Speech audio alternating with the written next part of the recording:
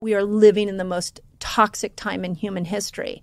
And it doesn't, it's not just mental stress, it's not just social media, it's a barrage of all of that that is pulling us off course. And I can tell you that I have sat with some of the most brilliant doctors who are generally so concerned on the direction of humanity and where we're going. You want to talk about real end times and craziness? Craziness. When they start sliding FDA approved toxic frankenfood all across the board.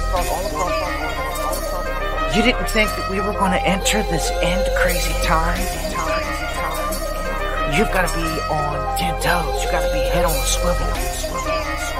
They're allowing the frankenfood on the shelf. The GMO salad on the shelf. So the warnings out. The warnings out. The warnings out.